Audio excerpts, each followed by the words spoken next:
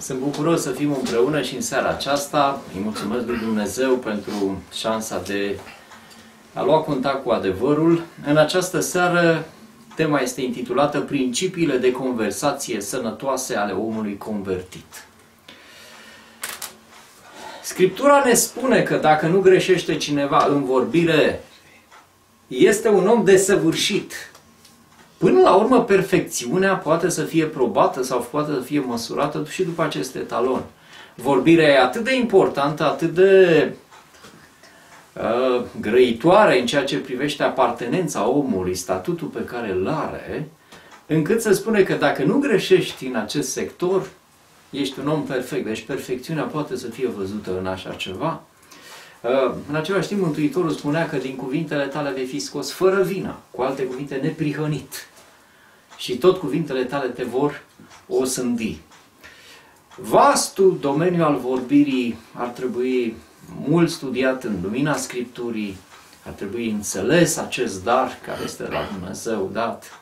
Până la urmă, ce sunt cuvintele? Cuvintele. Articulez acum niște sunete, din punct de vedere fizic, sunt niște sunete, niște vibrații, nu? Care zboară de la mine, nu? Corzile vocale, prin arcada, arcada, cavitatea bucală și apoi se duc. Se duc către celălalt, zburând prin atmosferă spre urechea unei alte ființe, trecând prin ea și ajungând la centru de comandă, și de interpretare mintea celuilalt. Acolo în minte sunetele sunt interpretate și mesajul recepționat. Din punct de vedere al semnificației, în schimb, cuvintele ar trebui să reprezinte forma în care poți transmite tot ceea ce ești, forma în care poți da mai departe ceva din tine. Gânduri, idei, sentimente, scopuri, dorințe. Cuvintele propriu-zis sunt ambalajul pentru gânduri, sentimente și spirit. În realitate e un ambalaj care transmite ceva. Și în forma lor pură, în forma lor uh, nealterată, nedeformată, cuvintele ar trebui să definească exact ceea ce gândește, ceea ce simte și ceea ce vrea un om. Zic în forma lor nealterată, pentru că, din păcate, cuvintele nu mai reprezintă exact, nu mai este ambalajul corect cu conținutul. E o discrepanță în timpul de față între conținut și ambalajul, eticheta care îi se pune.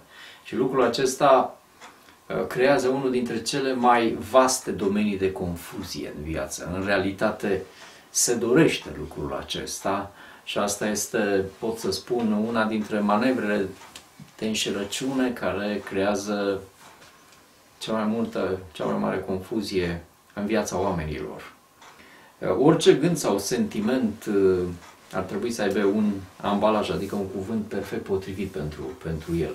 Când gândești ceva, ambalajul ar trebui să fie exact cu eticheta respectivă, care atunci când este rostit, transmis cuvântul și recepționat să definească exact ce gândești, exact ce simți, exact ce vrei, exact care sunt intențiile în așa fel încât celălalt om să te cunoască exact cine ești și ce vrei.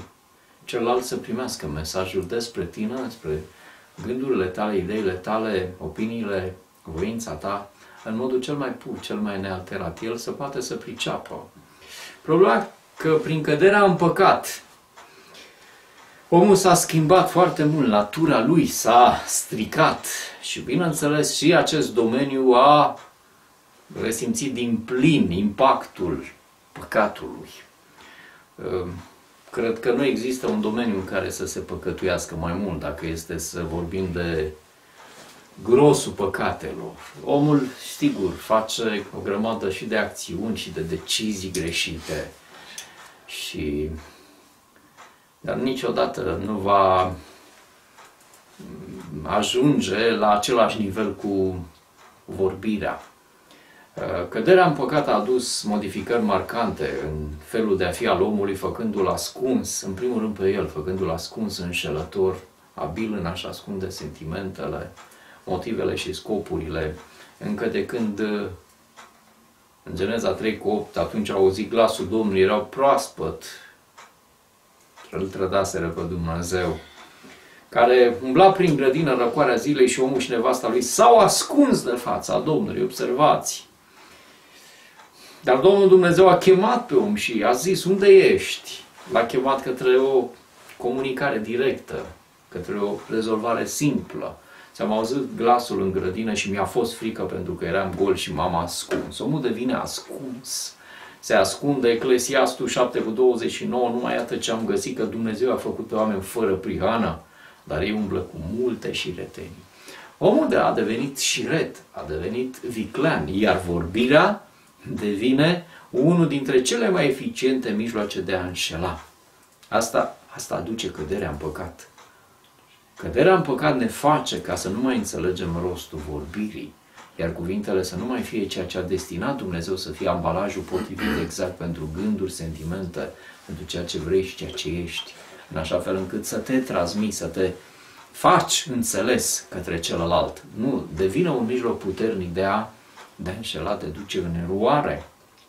Ar trebui să ne gândim că recuperarea din păcat înseamnă tocmai repararea aceasta tocmai undeva o schimbare adâncă în principiile acestea care sunt alterate. Nu numai că vorbim alterat, principiile pe care se bazează vorbirea noastră sunt greșite, sunt stricate. Uh, aș putea da multe exemple. Geneza 31 cu 26. Atunci Laban a zis lui Iacov, ce ai făcut pentru ce m-ai înșelat și mi-ai luat fetele ca pe niște roabe luate cu sabia? Plecase, fugise pentru că Laban tot vrea să profite de pe el și nu l-ar mai fi lăsat vă aduceți aminte, 20 de ani. Nu, l-a, l-a ținut acolo. Pentru ce ai fugit pe ascuns și mai înșelat și nu mi-ai dat de știre? Te-aș fi lăsat să pleci în mijlocul veseliei și al cântecelor, în sune de timpane și alăută. Dădea și o sărbătoare mare, un banchet de dragă îi pleca robul care îi muncea acolo. Nici de cum, nu asta era realitatea.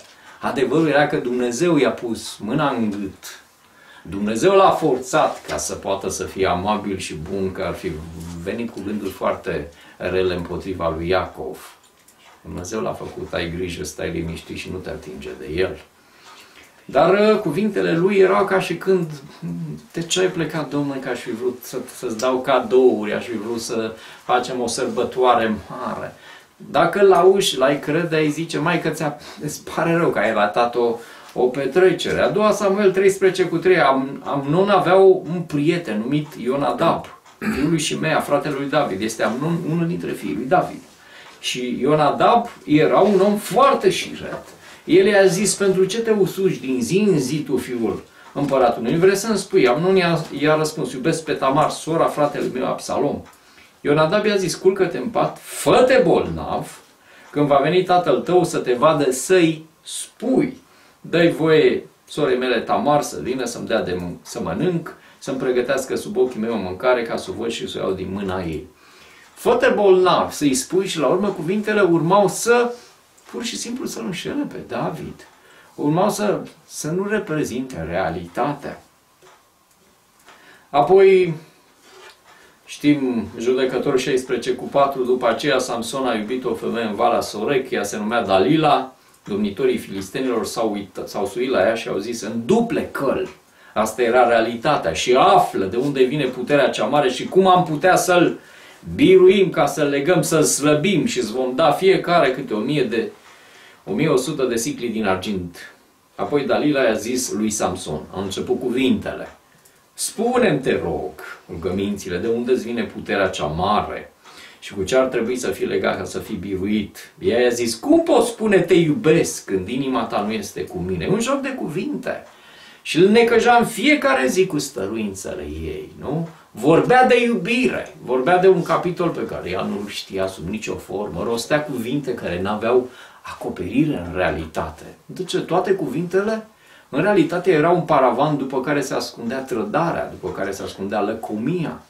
El, ea îl privea nu ca pe un om la care ținea, ci ca pe un articol pe care îl putea vinde, după care putea câștiga ceva. Dar cuvintele pur și simplu se foloseau expresii mărețe, expresii și cuvinte precum dragoste, uh, nu ți la mine, nu-ți pasă de mine și așa mai departe. Discuții de genul acesta care pur și simplu nu reflectau nici pe departe adevărata stare a inimii, adevăratele gânduri, sentimente, adevăratele intenții ale ei. Tocmai de aceea cuvintele devin cele mai înșelătoare forme, deci metodele cele mai bune de a duce în eroare. Uh, acțiunile de obicei când le urmărești așa îți dai seama de linia unui om, dar cuvintele pot să fie extrem de deșirete. Uh, în felul acesta cuvintele omului nu au mai reprezentat adevăratele gânduri, sentimente și scopuri ale omului. În Proverbe 10 cu 18, cine ascunde ura are buze mincinoasă. Și cine răspândește bârfelele este un nebun. Cine ascunde ura are buze mincinoasă. În realitate, dacă ai ură, ar trebui să țipi. Dacă ai ură, ar trebui să-i spui, să-l admonestezi foarte direct exact ce te gândești. N-ar trebui ca să-i faci complimente, n-ar trebui față de alții să spui că n-ai nimic cu el. Pentru că nu e realitatea asta. Nu-ți reflectă inima cuvintele tale. Proverbe 26, 26, chiar dacă își ascunde ura în prefăcătorie, Dumnezeu garantează ceva, totuși răutatea lui se va descoperi în adunare. Până la urmă se va da pe față. Până la urmă răutatea va erupe inclusiv și în limbaj autentic, cum ar fi trebuit de la început. Nu că e bună ura, dar ar trebui ura să aibă cuvinte potrivite, cuvinte de ură, nu cuvinte de apreciere sau cuvinte ca și când tu n-ai absolut nimic, de detașare, când în realitate mognești în inima ta împotriva lui. Uh, e atât de întâlnit lucrul acesta la oamenii păcătoși încât nu ne dăm seama că rostim cuvinte care n-au acoperire în viața noastră.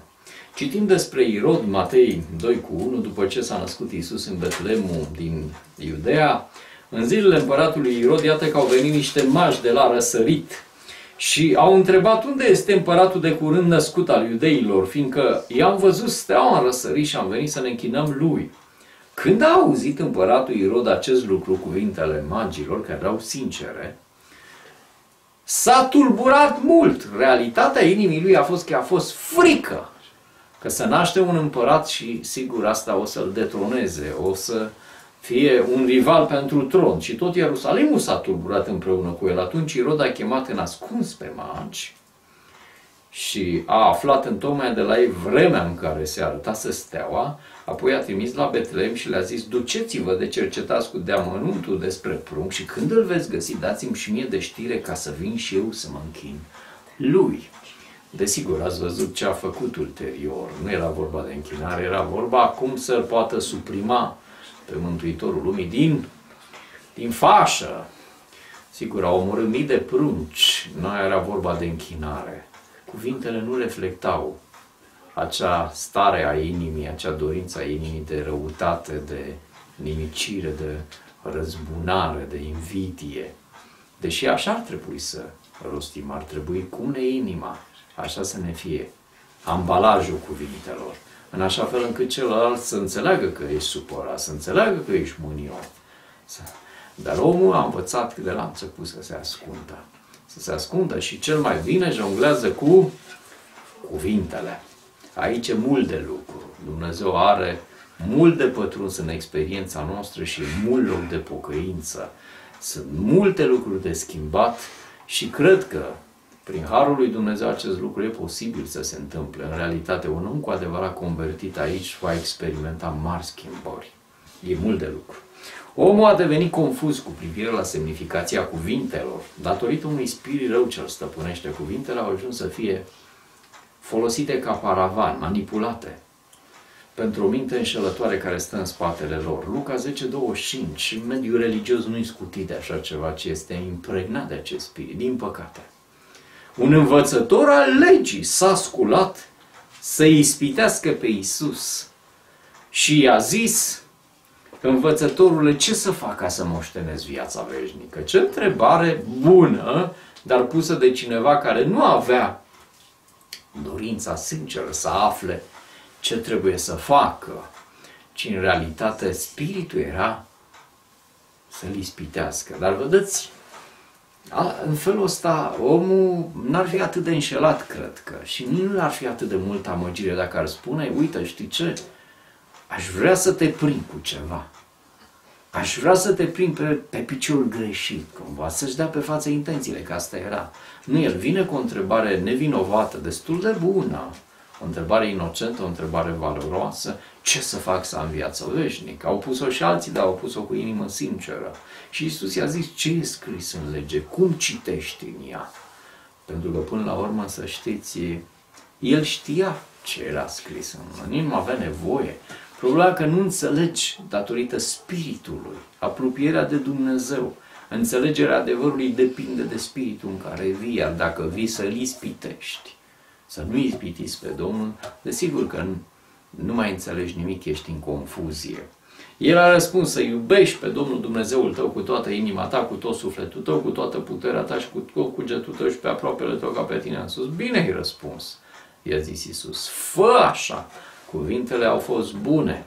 Problema e, vrei să faci exact așa? Și vei avea viață veșnică. Dar el care vrea să se îndreptățească, i-a zis lui Iisus, și cine e aproapele meu? Observați de fiecare dată cuvintele, în realitate cine e aproapele meu, nu era o întrebare sinceră. În realitate era o formă de a se îndreptăți, la fel ca și prima întrebare, care nu era dorința de a cunoaște, ci era dorința de a ispiti. Deci de cele mai multe ori se întâmplă ca ceea ce rostim să nu reflecte adevărata stare a inimii, adevăratele motive, adevărata căutare, adevărata intenție. Și asta se numește înșelăciune. Sunt principii înșelătoare care în mare măsură sunt folosite în, în vorbire. Vă dați seama că în adevărata lor natură și funcție, cuvintele ar trebui să fie ambalajul potrivit pentru fiecare gând și pentru fiecare sentiment. Anumite gânduri și anumite sentimente au nevoie de anumite cuvinte. Trebuie să te gândești, oare ce gândesc acum? Oare ce simt acum? Și oare ce spun acum? Este o compatibilitate de plină între ceea ce gândesc, simt și ceea ce spun acum. Cuvintele ar trebui să fie potrivite. Totul a fost denaturat prin căderea în păcat și cuvintele au devenit ambalaje false, forme, paravane de înșelăciune. Iată-l pe Iuda în casa lui Simon Leprosul, Mântuitorul, și el acolo, Maria vine să-i plină de recunoștință, să-i spele picioarele, vă aduceți aminte, avea un dar pentru el, pentru că era recunoscătoare din toată inima pentru ce făcuse pentru, pentru ea. Maria a luat un litru de mir de nar curat, unul din ucenicii săi, Iuda Iscarioteanu, fiul lui Simon, care avea să-l vândă, deci el asta avea deja intenția, a zis, Acestea au fost cuvintele care au plecat. De ce nu s-a vândut acest mir cu 300 de lei și să se fi dat săracilor? Ăștia erau cuvintele. Cuvintele ar fi însemnat ce? Sunt atât de frământat și îmi pare atât de rău pentru, pentru oamenii sărmani. Nu știu cum să-i mai ajut. Mă gândesc zi și noapte la ei. Cum putem să fim mai, mai de ajutorul unei lumi lipsite a acestor oameni săraci. Dar realitatea nu era așa. Zicea lucrul acesta nu pentru că purta grijă de săraci, deși așa a fost auzit de ceilalți. Hristos a înțeles că e un ambalaj nepotrivit pentru spiritul ci pentru că era un hoț. Un hoț care în realitate e un om egoist care se gândește cum să ia pentru el, făcea niște remarci de altruism pur, în realitate, dacă Iuda ar fi fost sincer, cum, care ar fi trebuit să fie cuvintele potrivite în raport cu gândurile și sentimentele care le avea? Ce ar fi trebuit el să spună atunci?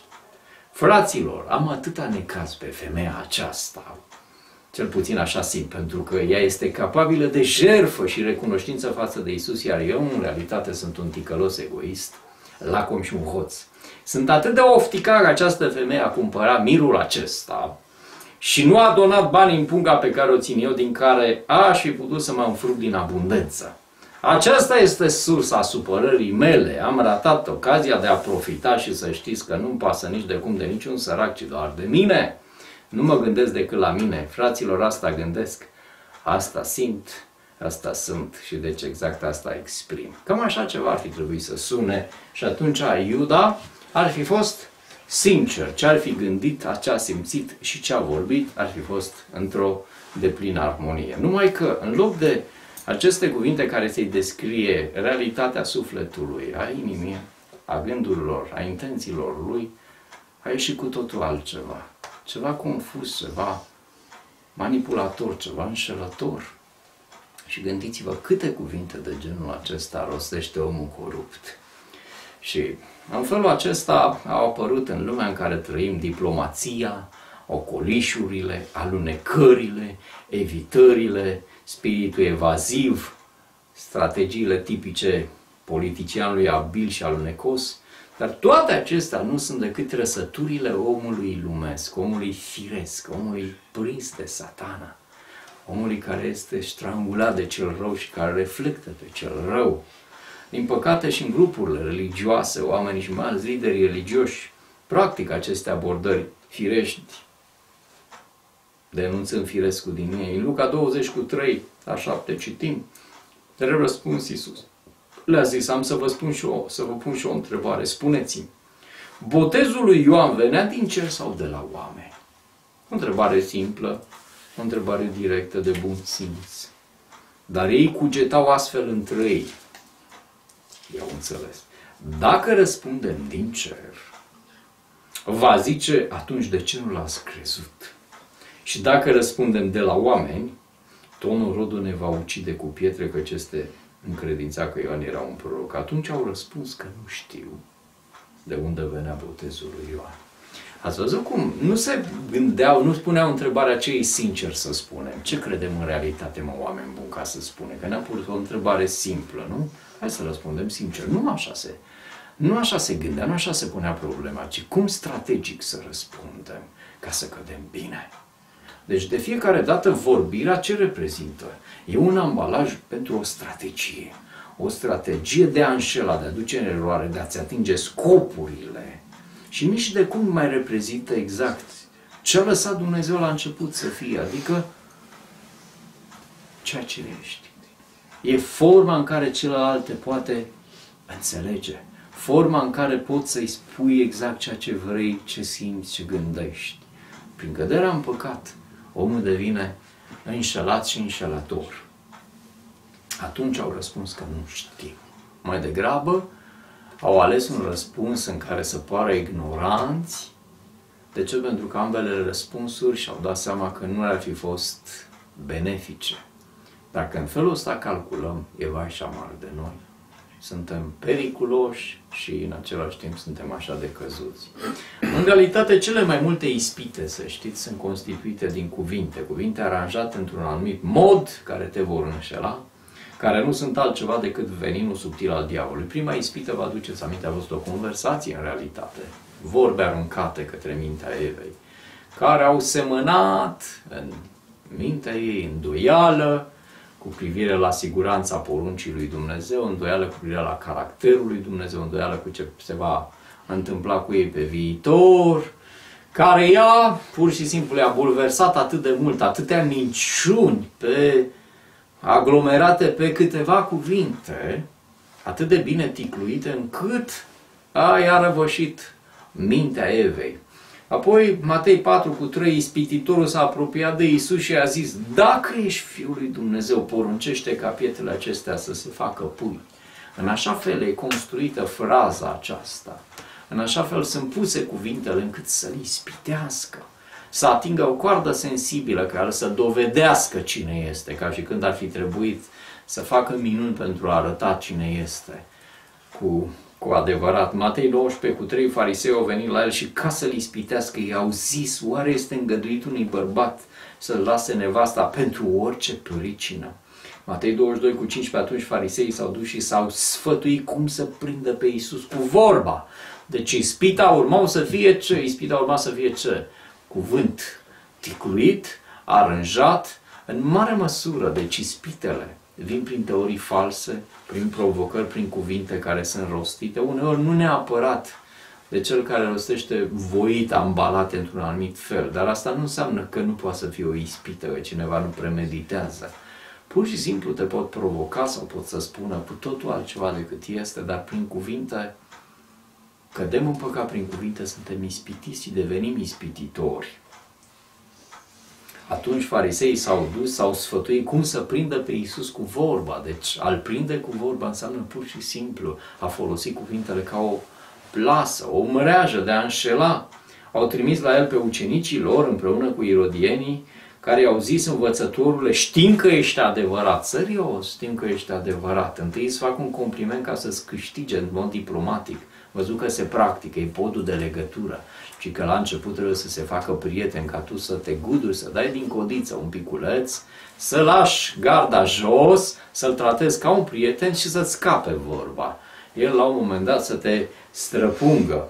Știm că ești adevărat, că înveți pe oameni calea lui Dumnezeu într-adevăr fără să spese de nimeni. Adică știm că ești curajos și că tu nu te uiți la fața omului. În realitate spunea zi-o pe șleau, exact. Spune tu că întâi te flatează pentru ca tu să atunci să ai curajul să spui niște lucruri de care să se lege să te prindă. Spune-ne, deci ce crezi? Se cade să plătim bir cezarului sau nu? Iisus, care le cunoștea vicleșugul, a răspuns pentru ce mă ispitiți fățarnicilor. Era ispitit prin ce? Prin cuvinte, cuvinte care îl flatau, cuvintele care îl înălțau fără să, cuvinte care ei se pretindeau că cred, cuvinte care arătau ca și când ei sunt uh, dornici de învățătură și să afle, în realitate nu era nimic din toate acestea. Erau pur și simplu lațuri pe care le întindeau prin vorbe. Suntem ispitiți prin cuvinte, suntem ispitiți și prin doctrine false. Până la urmă, și sunt cuvintele care nu stau al lui Dumnezeu. Sunt cuvinte meșteșugit puse ca să ducă în eroare. Nu uita, cuvintele trebuie să fie ambalajul potrivit pentru gânduri, sentimente, scopuri urmărite care să fie transmise celorlalți. Mai este un lucru trist că Uneori cuvintele sunt ambalaje pentru nimic, pungă goală. Știți că unii vorbesc foarte mult, dar nu transmit nimic. În realitate nu transmit decât goliciune, nu dau decât ambalaje goale, astea sunt flecăriile, banalitățile și vorbele goale. Nu-ți transmite în realitate nimic decât goliciune.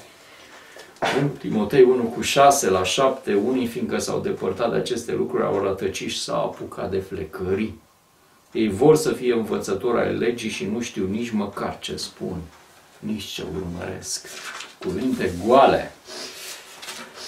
Dacă asta e o mare problemă a noastră și a umanității prin căderea în păcat, ce înseamnă convertirea, întoarcerea la Dumnezeu, ce înseamnă restaurarea, implică lepădarea nesincerității, lepădarea vicleniei, a modului și red și subtil și alunecos de conversație, a oricărei formă de minciună și înșelătorie, a oricărei despăr, depărtări de la cea mai strictă sinceritate. În Efesei 4 cu 22, 25, ni se arată că este legat de convertire, de nașterea din nou, de schimbarea omului, foarte mult este legat de că se va întâmpla ceva cu vorbirea lui. Este întotdeauna un efect primar al convertirii, schimbarea principiilor de conversație ale omului. Cu privire la felul vostru de viață din trecut, să vă dezbrăcați de omul cel vechi care se strică după poftele înșelătoare și să vă înnoiți în duhul minții voastre, ca să vă îmbrăcați în omul cel nou, făcut după chipul lui Dumnezeu, de o deprihănire și o sfințenie ce o dă, pe care o dă adevărul. De aceea, de aceea, deci primul lucru când vorbește că ați lăsat vechiul, nu, și acum ați fost chemați la o, o viață nouă, nu? Prin schimbarea minții voastre, de aceea lăsați-vă de minciună. Deci primul lucru, minciuna este o formă de înșelăciune. Fiecare din voi să spună aproape lui său adevărul. Asta este dovada de convertire, că în primul rând se schimbă principiile. Nu mai pot să fiu înșelător printr-un cuvânt nepotrivit. Nu mai pot să spun sau să exagerez sau să duc în eroare cu cuvintele. Întrucând v-ați des... Nu vă mințiți unii pe alții, spunea Colosem 3 cu 9. Nu vă mințiți unii pe alții întrucât v-ați dezbrăcat de omul cel vechi cu faptele lui și v-ați îmbrăcat cu omul cel nou care se înnoiește spre cunoștință după chipul celui ce l-a făcut. Deci, vedeți, prima dovadă este vorbirea se schimbă. Principiile vorbirii, nu că trebuie să-ți cauți nu știu ce cuvinte elevate, deși și în direcția aceasta calitatea cuvintelor trebuie căutată. Principiile care stau la baza conversației sunt schimbate. principiile care stau la baza vorbirii. De aceea, omul convertit este un om direct, este un om pe față, este un om transparent, este un om fără ascunzișuri. Acestea sunt principiile Domnului Hristos, care, bineînțeles, sunt principiile omului convertit, născut din Dumnezeu. Iată ce citim despre el, despre felul lui, de principiile care stăteau la baza vorbirii Domnului Hristos. Ioan 7 cu 25, niște locuitori din Ierusalim ziceau, nu este el acela pe care caută ei să-l omoare. Vă dați seama, Domnul Hristos avea oameni care căutau să-l distrugă. Deseori începem să vorbim în altfel când știm că cineva nu ne vrea. Nu mai suntem atât de direct, atât de clar, atât de precis, pentru că datorită fricii și a instinctului de conservare, uneori începem să ne modificăm vorbirea. Ne dăm, zicem noi, ne dăm cu binișorul pe lângă oamenii aceștia pentru că ne sunt potrivnici. Și totuși iată că vorbește pe față și ei nu-i zic nimic. Nu cumva, într-adevăr, cei mai mari vor fi cunoscut că El este Hristosul, nici în împrejurări de genul acesta. Când era amenințat Domnul Hristos, nu dădea subtil, evitând să spună adevărul. Marco 8, 31. Atunci a început să învețe că fiul omului trebuie să pătimească mult, să fie tăgăduit de bătrâni, de preoții cei mai de seamă și de cărturari, să fie omorât și după trei zile să învieze. Le spunea lucrurile acestea pe față. Ioan 18 cu 19, Marele Preot a întrebat pe Iisus despre ucenicii lui și despre despre ucenicii lui și despre învățătura lui. Iisus i-a răspuns, eu am vorbit lumii pe față. Totdeauna am învățat pe norod în sinagogă și în templu unde se adună toți iudeii și n-am spus nimic în ascuns. Pentru ce mă întreb pe mine? Întreabă pe cei ce m-au auzit despre cele ce le-am vorbit. Iată, aceea știu ce am spus. Acum de ce te faci ca și când vrei să știi despre mine? Când știi foarte bine că n-am niciodată n-am umblat cu două vorbe, am spus ce am avut de spus întotdeauna în adunare și oamenilor pe față, n-am vorbit pe ascuns, întotdeauna am vorbit pe față, întotdeauna a fost direct. Întotdeauna ai știut la ce te aștepți din partea lui, întotdeauna ai știut ce intenție are, întotdeauna l-ai putut cunoaște exact așa cum este. De ce? Pentru că cuvintele reflectau exact inima, intențiile și voința lui. Asta a fost Domnul Iisus prin convertire. Exact asta se așteaptă și de la noi. Exact aceleași principii care să stea la baza conversațiilor noastre și anume direct, pe față, fără ocolișuri, transparent, fără ascunzișuri, sincer, onest, 100%. De aceea se spune Matei 5.36 să nu juri, nici pe capul tău, căci nu poți face un singur păr alb sau negru. De ce nu e nevoie să jurăm? Felul vostru de vorbire să fie da, da, nu, nu, să știe toată lumea. Ce trece peste aceste cuvinte vine de la cel rău. Când dau nu mai este chiar da, când nu, nu este chiar nu. De ce ar trebui să ne jurăm? Prin faptul că fiecare cuvânt are greutate, nu? Te juri atunci când, ca și când atunci ești mai solemn decât uh, atunci, dacă n-ai jurat, înseamnă că doar când juri nu minți, nu? Iar în restul e posibil să fie deformat și nu ar trebui fiecare vorbă să fie la nivelul unui jurământ. N-ar trebui să zici pe cuvântul meu, pentru că fiecare cuvânt al tău ar trebui să fie da, dar nu. Și nu e nevoie să juri, nu e nevoie să invoci nu știu ce chestie solemnă, pentru că în realitate fiecare cuvânt e solemn. Oamenii se pot aștepta exact la cuvântul ăla să, să te reprezinte în uh, Cugetări de pe Muntele Fericirilor, pagina 68, e un pasaj minunat. Iisus a mers mai departe și a statornicit o regulă care înlătură jurământul. El învață că adevărul exact trebuie să fie legea vorbirii.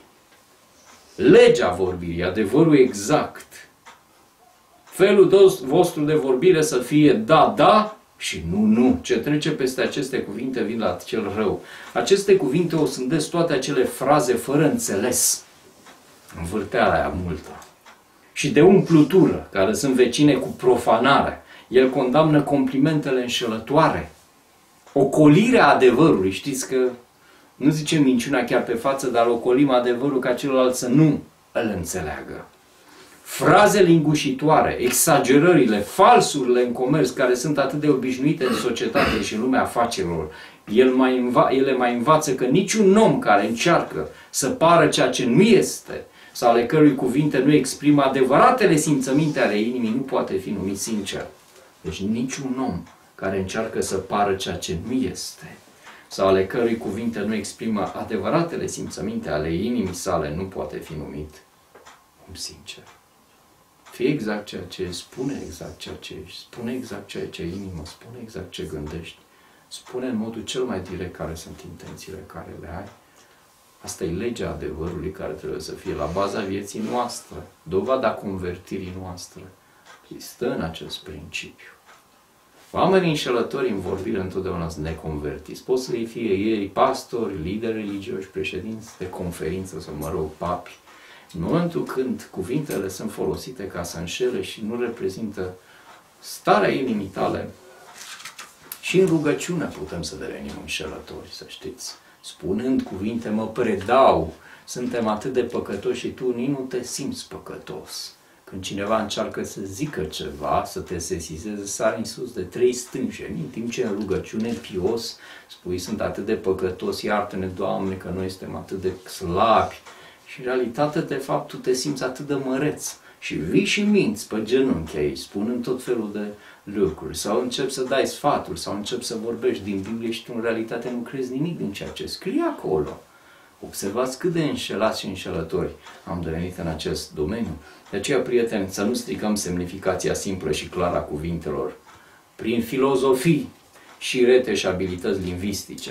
Este necinstit și rușinos pentru un creștin să facă așa ceva. Și totuși, în mediul creștin se întâlnește atâta deformare a adevărului simplu, prin tot felul de metode, filozofie vicleană și necinstită. Coloseni 2 cu lua seama ca nimeni să nu vă fure cu filozofia și cu amăgire de șartă, după datina oamenilor, după învățăturile începătoare ale lumii și nu după Hristos. Pavel spunea să nu ne stricăm, să nu ne îndepărtăm de la simplitatea care este în Hristos. Observați filozofiile, care e rolul lor? Să vă fure. E o formă de a te înșela, de a te fura, pur și simplu. De a te fura cum? Prin cuvinte prin cuvinte, prin abilități lingvistice, prin filozofie și oratorie, în așa fel încât duce, cuvintele reprezintă în felul acesta, dar ne spun niciodată adevărul. A doua Petru 2 cu 3 în lăcomia lor vor căuta ca prin cuvântări înșelătoare să aibă un câștig de la voi. Dar o sânda îi paște de multă vreme și pierzarea lor nu dormitează. Cuvântări înșelătoare. A doua Corinteni 4 cu 2 Apostolul Pavel mărturisește ca unii care am lepădat meșteșugirile rușinoase și ascunse, șmecheriile în exprimare. Le-am lepădat prin convertire, ne-am căit de ele, ne-a părut rău și ne-am dat seama că așa ceva este nedumnezesc. Așa ceva e satanic. El folosește, e cel mai abil în cuvinte ca să le răstălmăcească. E cel mai abil de a te înșela prin cuvinte și ne-am lepădat de așa, am lepădat meșteșugirile rușinoase. Nu umblăm cu vicleșug și nu stricăm cuvântul lui Dumnezeu, spunea Pavel. Îl lăsăm în așa fel încât să fie simplu și înțeles de toți. Ci prin arătarea adevărului ne facem vrâni să fim primiți de orice cuget omenesc înaintea lui Dumnezeu.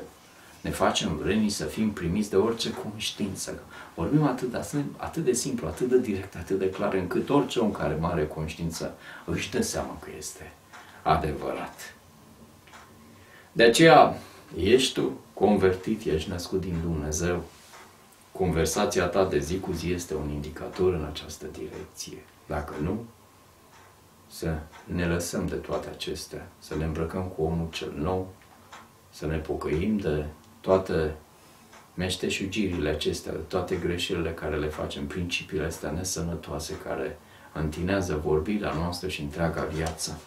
Și în felul acesta să primim adevăratele principii de conversație ale omului convertit, al omului născut din Dumnezeu, în așa fel încât caracterul lui Hristos și viața lui să se manifeste din belșug și în acest domeniu al vieții, să fie nu cuvintele cine vorbește, să vorbească nu cuvintele lui, ci cuvintele lui Dumnezeu. Un spirit în care dorește Dumnezeu, în sinceritatea și în maniera onestă și integră în care Dumnezeu vorbește. Mulțumim lui pentru aceste adevăruri, fie ca ele să-și găsească loc în inima noastră, să aducă rod spre viață veșnică. Amin.